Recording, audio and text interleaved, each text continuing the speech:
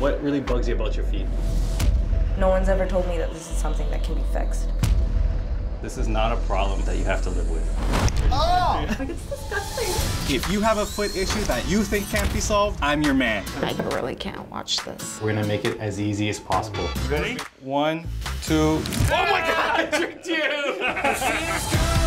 I'm Jonathan, and I fix people's feet.